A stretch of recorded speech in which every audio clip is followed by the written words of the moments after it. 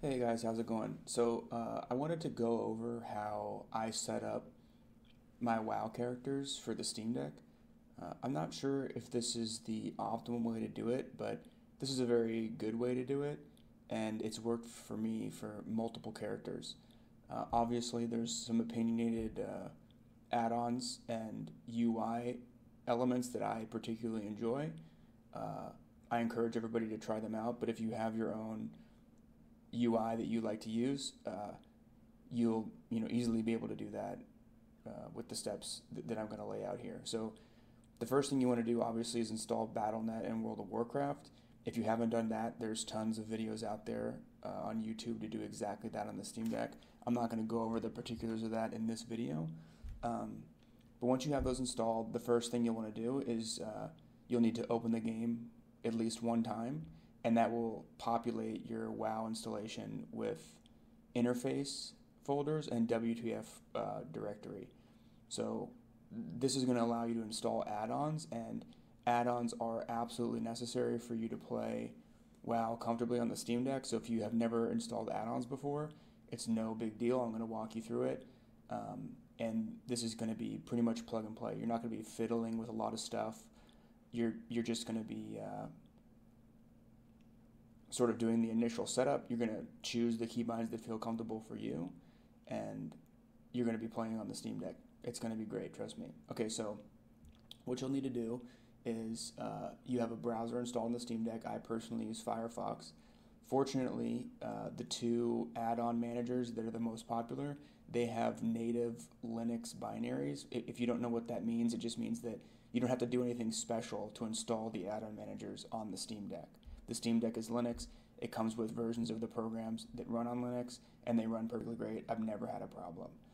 Uh, so I don't know if this is still the case, but you know this is what I'm doing now. There was sort of a business issue with CurseForge, which is a repository for add-ons, and WowUp, which is an open source add-on manager. I'm not sure if that's revol- resolved. I, I don't think it is resolved. So unfortunately for me and for this setup, you'll need to install both, which is not a big deal. Uh, so if you want to get the setup that I have, uh, the add-ons that you will need, uh, I'm going to go through them. Also, this uh, I'm streaming this to my Windows PC so I can record it, and the aspect resolution is a little different, so it's kind of cut off. But when we go into game mode, it's going to be completely fine. So what I got uh, is add-on skins. That's uh, important for some of the aesthetic looks. I think that you should get that. You're going to need to get BigWigs. Um, I got all the BigWigs for all the different expansions, you know, just in case there's time walking or something. Uh, you do not need Clique unless you're a healer. Uh, ignore that if you're if you're not a healer and you and you don't want to use Clique. Details is the damage meter that uh, you're going to need to use for this UI setup. You cannot use another one. Uh, ConsolePort is the number one add-on that you need to get. You must get ConsolePort. That's what we're going to use, and that's what's going to facilitate us to be able to play in handheld mode uh, on the Steam Deck. This is totally optional. Gotta go fast. That's a Mythic Plus add-on. It's really good. I recommend it. LittleWigs. Uh, I think that you absolutely need that. It's it's associated with BigWigs, which is also not optional. Uh, plater nameplates is optional. I recommend you doing it. it this is going to uh, this this installation setup is going to walk you through how to set up a profile for this off of that somebody else has already made. So I I, I think that these are superior to the ElvUI nameplates, so you should get them. Uh, shadow and light is not optional. Shared media, forget about that. You do not need that. Shared media causes is is very good if you like to do Mythic Plus. There's a, a WeakAuras that, that uses this. It, it, it's very, very good. I, I recommend it. Uh, and WeakAuras is also not optional. You, you need to have WeakAuras for the setup that we're going to go through. So that's on CurseForge. This is the CurseForge add-on manager. Unfortunately, because of the reasons I said before, uh, ElvUI needs to be installed if you want to keep it up to date uh, through a different add-on manager, and that is going to be called WowUp. You can get it on WowUp.io. Just Google WowUp Linux or WowUp Steam Deck, and you'll get this app image. And you don't even have to install anything. App images on on the Steam Deck, I literally just click these app images that I've you know put in the documents folder. You can put them anywhere you want uh, you just click on those and, and, and the, the app's going to open up. So what you need on this is you need ElvUI. Okay, you have to get ElvUI. you have to get shadow and light. And I highly, highly recommend if you don't already have a UI that you are very familiar with, I personally think that Redtuzk UI is the best looking and most uh, functional, which is important, UI that you can get right out of the box. And this has an installation process. It's very, very easy. I'd walk you through it. We're going to go through it right now. Um, I highly, highly recommend that you get Redtuzk UI unless you already have something that you use that you think is better. Okay, great. Um, so what we're going to do is we're going to open up World of Warcraft, and I have chosen a character that I haven't set up on the Steam Deck yet. Uh, this is my Evoker, Pizza Lizard. He's a max level character, so we're going to go through all the keybinds uh, that you can possibly have and walk you through the process. So what you're going to see now is on the screen after you've installed all those installed all those add-ons, it's going to pop up with an installer uh, that's configured with all of the add-ons we just showed you to just work seamlessly with all the add-ons we've installed to make the UI look very good, and it's going to work together with ConsolePort uh, to make it very, very easy for you to play on the Steam Deck. So once this loads, you can't see the loading bar because of the aspect ratio issue, but we're not going to need to do that.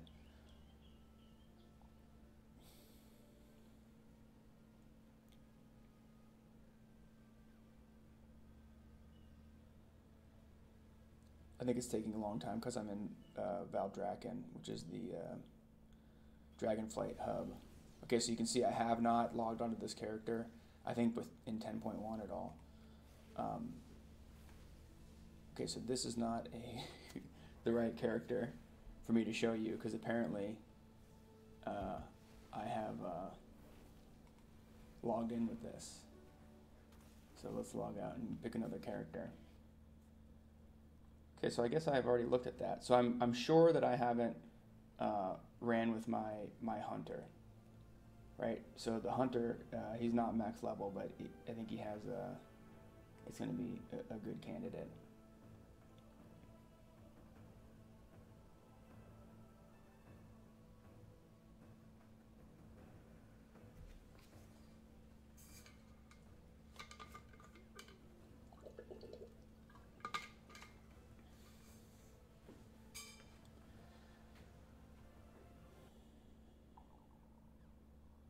This is about the same load times that I get on my PC, and I'm running WoW off of a micro SD on the Steam Deck. The, this is not an outrageous load time, in my opinion, for WoW. I have an NVMe uh, solid state drive on my PC, and it's not much better than this. Um, and you got to remember that this is probably loading up the installer. This so this is what I'm talking about. So you're going to get hit with this when you first uh, log into a character after you just installed all the add-ons we talked about. So I'm going to skip this process because I've already gone through it. But you're going to press continue, and you're just going. It's it's very simple. You just click enable, enable, enable. It's no problem. So we're going to get another reload, and you can already see the next step we're going to do. It, it prompted us already about which nameplates we want to use. And if you aren't familiar with that, what nameplates are are the health bars over enemies' heads. Those are called nameplates.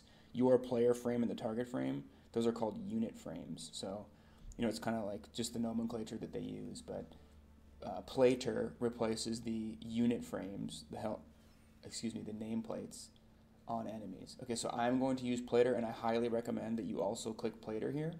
Uh, you can always change it later, but uh, I'm going to click Plater. That, that's what I think is the best. And we're already almost done. So you're going to have a couple more clicks because you're not going to skip that process, but uh, the longest part of this is just as the the UI reloads. It's it's uh, it's enabling uh, the add-on profiles that we just went through. So you're going to see what Redtuzk looks like now. So Redtuzk looks like this. Um, no, it doesn't. That's not what Redtuzk looks like. So you're gonna you're just gonna look better. But what I'm gonna do is the first thing I need to do is click on this is details right here, damage done. I'm gonna go to the options panel I'm going to go to profiles. The profile name is going to be called Redtuzk UI. You will have this also. And there you go. It automatically enabled it. So I'm going to, I like to change this to healing because I like to see what the healers are doing, healing done. So we have damage and healing done. So now this UI looks like crap. So what we're going to do is I'm going to type in ElvUI, and ElvUI is going to pop up. I'm going to go to Profiles, and I'm going to click Redtuzk DPS. So yours is going to be called Redtuzk, I think. I just renamed this because I have a little bit of special stuff in there. Okay, so now we have Redtuzk UI. So the last thing you're going to need to do is you're going to need to type slash BW into the chat bar and this is for BigWigs. And what you want to do is you want to go to the profile for BigWigs. You want to select Redtuzk. Actually, I lied. There's another step after this. And you're going to close. And that's you, you know you'll see what that does as you play. It's it's going to automatically look very nice on the screen. So the other, we, want to do two other things. Okay, so if you remember, we uh, are going to use the plater profile, and the default plater profile. I'll show you what it looks like in my opinion, it's, it's not the most aesthetically pleasing uh, profile out there. So I'm going to go to the target dummies. It's hard to. Okay, so that's what the what the default plater profile looks like. So what I would recommend is you go to Wago and you click on World of Warcraft plater nameplates Okay, and there's a bunch of stuff here. Okay, I just click on Plater. Hopefully that loads. Plater profiles. Right? And here's a bunch of Plater profiles, and they tell you about themselves. So pretty much all of these that have like thousands of installs, they are good. Okay, so I personally have used Jundies before, and I think that it is very good. I, all you do on this is you, so you click this one, and you're going to hit the import string bit here once this loads. Import string, right? So I click that. I have already done this, and what you're going to do is you're going to go to, you're going to type slash plater in chat, and then the profiles is right here in the third row. You're going to open profiles. You're going to import the profile. I've already done this. So you import the profile, you paste it in here, and you click OK, right? I have already done that. So I'm going to click this. I'm going to go to Jundies, which we just looked at. It's going to ask me if I want to reload. I'm going to say yes. Yes, I want to reload.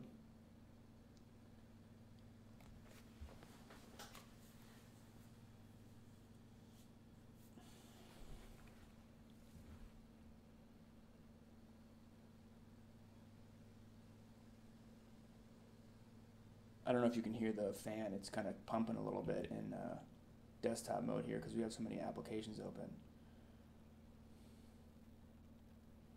Okay, so in my opinion, this you know this looks much better to me, in my opinion. You know, I can see a lot better. I think the nameplates are look very nice. Um, and we're going to do one other thing. So some people don't like WeakAuras. I personally like them. What what I'm going to do is uh, I'm going to also go here on Tawago. I'm going to click on WeakAuras. We have a hunter. Right, so I'm going to click hunter. Um, so let's just see which one looks pretty good. Afinar, Effie's.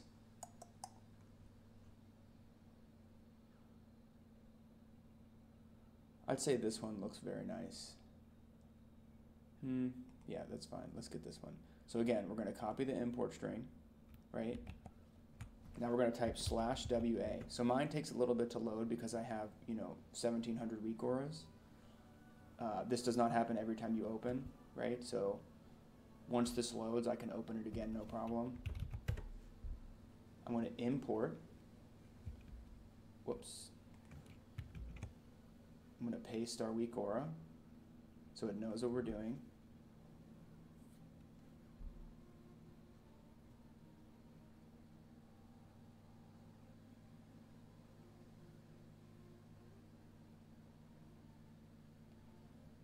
And you can see it popping up here. It's, it's populating the weak aura that we have. And what we'll probably do is we'll probably want to change the scaling because uh, these are normally configured for 1080p screens and the, the Steam Deck is effectively 720. It's, it's slightly different, but it, it's basically that. Because that's actually pretty big. Uh, that does not look bad at all. So let's see if we even need to scale this. So what I'm going to do is, is you, I'm going to hide all this other stuff, right? Um, I'm only going to look at this. It looks like there's a ton of stuff in here. Jeez. Uh, okay, so it looks like we can safely do that. So what you do is you, you, you want to make sure you're on Luxthos, the top directory, not these subdirectories. And I'm just going to click the group scale, and I'm going to scale it up just a couple clicks like this, and I'm going to move it up just a bit. That was down. Hmm, they're both moving it down? Okay, that's up. Okay, so I think that that looks, you know, not very, not, not that bad at all. So let's see. So that looks great in my opinion, right? I can still see my character when I'm zoomed out. It's big enough for me to see in handheld mode. I, I actually like that a lot. Okay, so now uh, you're gonna make want to make sure you exit the game. So we've got all of our profiles set up, everything, and now we're gonna go into game mode, um, and I'm gonna show you how we're gonna configure our ConsolePort bindings, and I'm gonna talk a little bit about some custom stuff that I've got going on here. Um, that I think you, you might want to consider because, it, in my opinion, it, it's it's pretty nice. So, yep, we're gonna go over to console uh, game mode. So uh, I'll see you in a second. Okay, so here we are. We are now in game mode, um, and I'm just now loading into that hunter that we configured.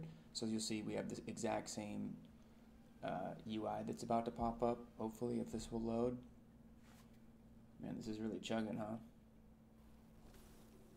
Okay, so there we go. It looks exactly the same. It's the aspect ratio is a little different, uh, possibly, but I think it's because uh, I'm plugged into my monitor. I've, I've had some issues with the aspect ratio changing. Okay, so now uh, one thing that you should do is you can use um, the default controller layout. You don't need to change the controller layout at all to do all these things. And if you press the uh, start button, I guess it's called, in the Steam Deck, uh, you can see that ConsolePort is, is already uh, working with us. So what I do is you're going to go to controls. Right now I'm going to use the keyboard and mouse just because it's it's already plugged in and it's very convenient, but you can absolutely do this with, with the controller. Okay, so uh, I'm not a hunter expert by any means, but we're going to go into bindings and we're, we're going to figure it out. So I uh, have moved a couple of these bindings around on accident. Uh, the default is much more organized than this, uh, but yours is going to look generally like this, okay? So if you don't have keyboard and mouse set up, what you can do is you just use the D-pad here. And so for the A button, uh, I think it's called like Viper Shot or something like that. I'm going to add what, what I tend to do. This is a little annoying here. Uh, is I put the most used spell here. Now normally it's jump. Normally A is I should actually go over that. Normally A is jump. So what you're going to do is what I do is I go to controls I go to, let's see, general. Uh, how do I do this? Yeah, jump here. So I change jump to something else, to one of the back buttons. And what that's going to do is it's going to free up your A button to not be jump. Now, I recommend you, you do that uh, A is like the best real estate in the entire controller, and jumping, you can do that with one of the back uh, triggers, and, and I, I, very, very highly recommend that you you also uh, have it set up that way. In my opinion, it, it's, it's far superior. So I am going to set up A, A, with, I think, is it Beastmaster? Yeah. So this is like the, you know, normal spam filler spell. Okay, so now that's Cobra Shot. So I like to make B my common uh, spell I also use, right? So I think Binding Shot is pretty good. You hit that you hit that very often, um, and you're going to want to keep up that buff. So I think that's you know pretty good.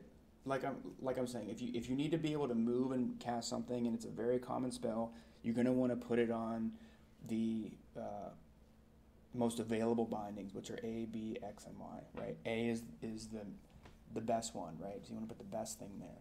So what could X be? Let's see. X,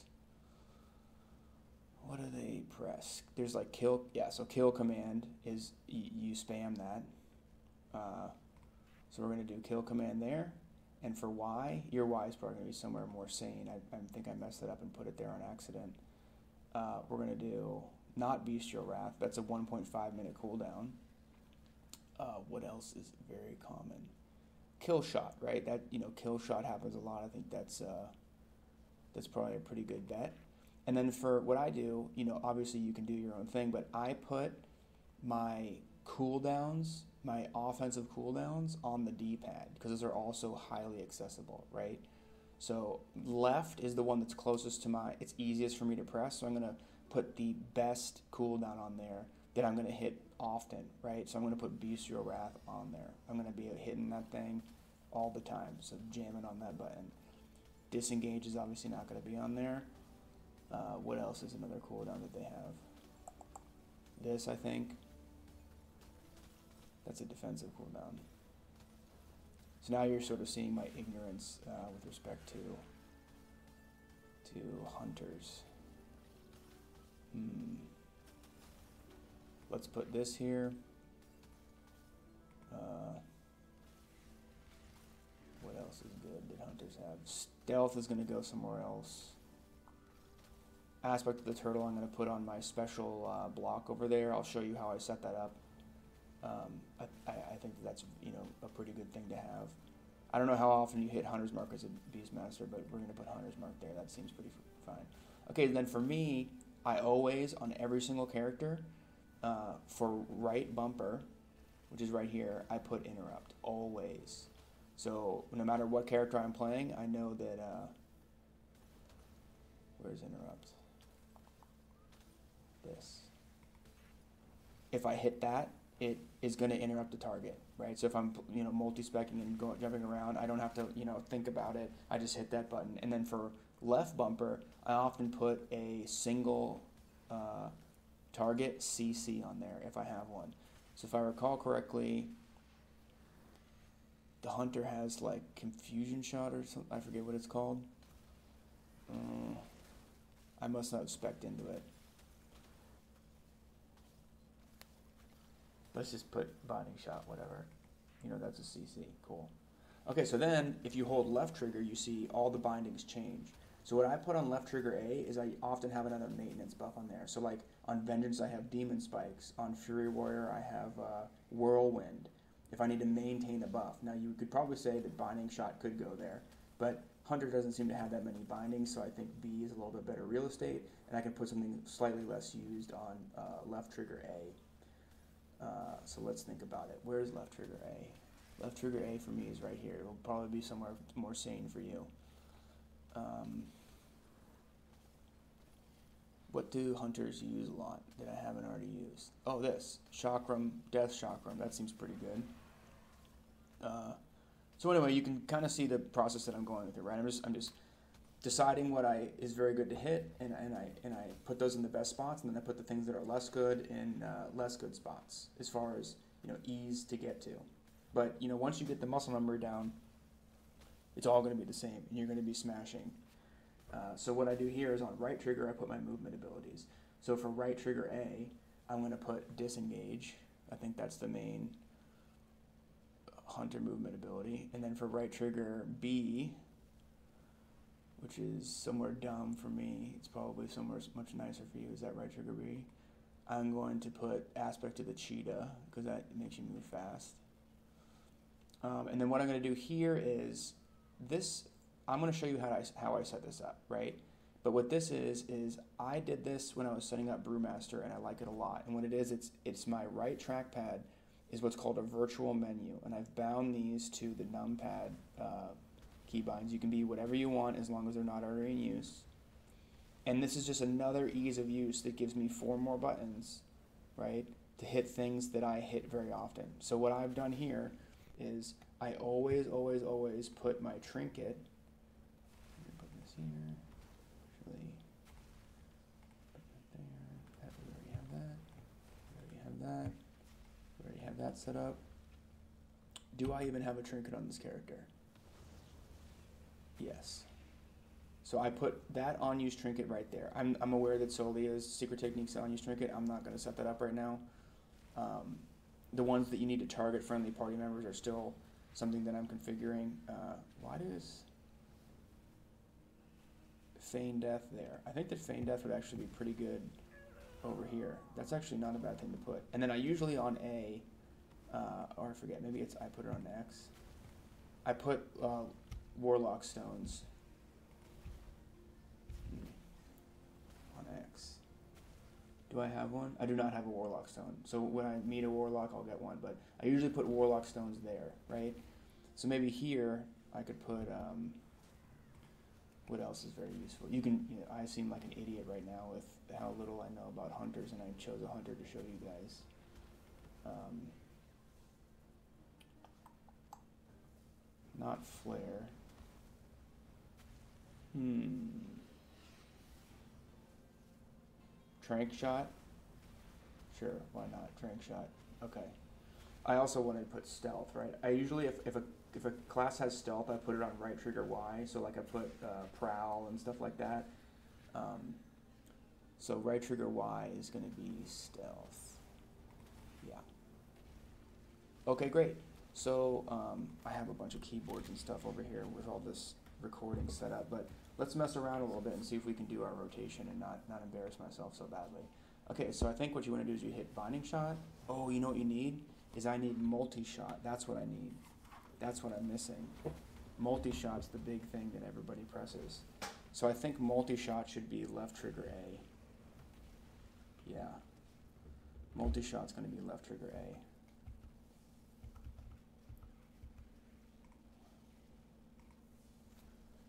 I'm accidentally pressing something on my Steam Deck. Oof, I have too much crap here. Controls. Hmm.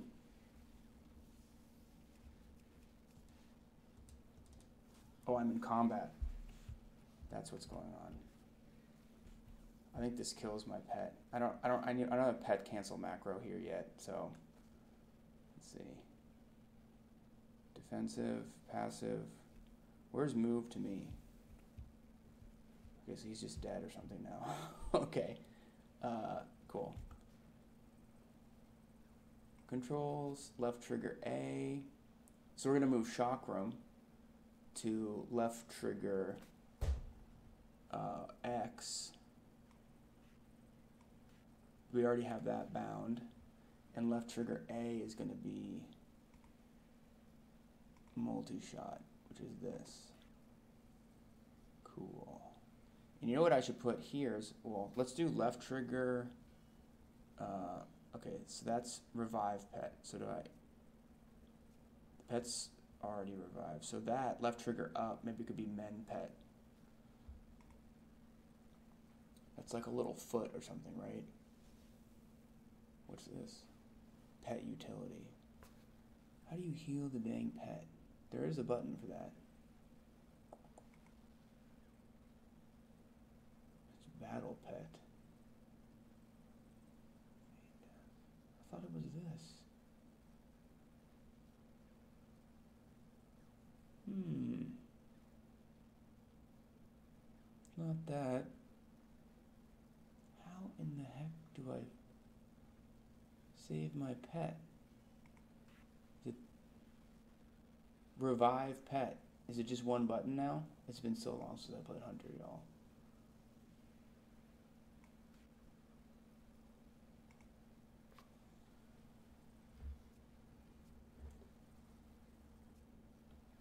Okay, we're going to open the spell book.